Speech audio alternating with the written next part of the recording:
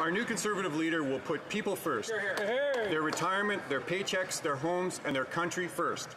That is why this past June I introduced my first private member's bill, C-286, the Recognition of Foreign Credentials Act.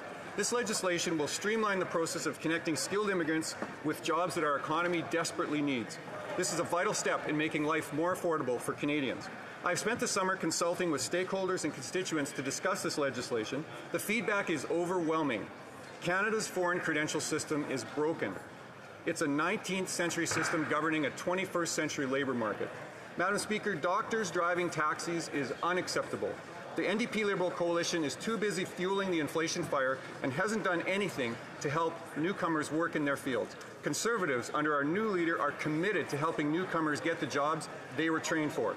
I urge every single MP to lay down their instruments, get to work, and pass this important legislation for our country.